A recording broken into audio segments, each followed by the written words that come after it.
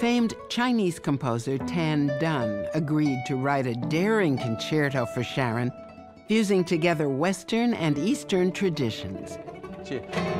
He knew the piece would be a challenge for any guitar soloist.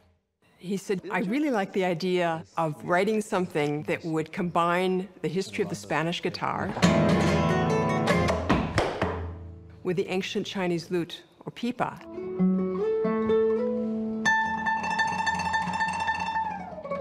She never says no to me. I try whatever I want to try.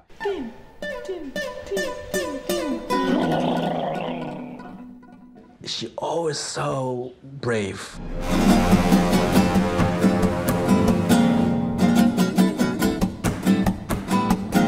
That's the joy of entering the world of a composer like Tan Dun.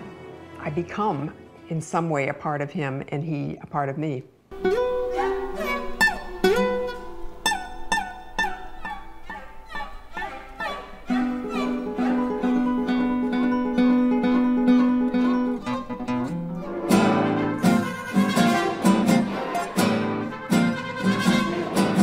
The music has so many different contrasts between sensuality, excitement, and fire and anger.